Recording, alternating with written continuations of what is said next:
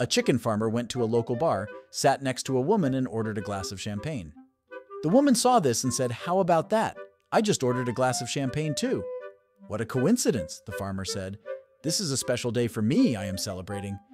This is a special day for me too. I am also celebrating, said the woman. What a coincidence, said the farmer.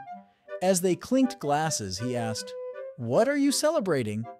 My husband and I have been trying to have a child for years, and today my gynecologist told me that I am pregnant, she said. What a coincidence, said the man. I'm a chicken farmer, and for years all of my hens were infertile, but today they are all laying fertilized eggs. That's great, said the woman. How did your hens become fertile? I used a different cock, he replied.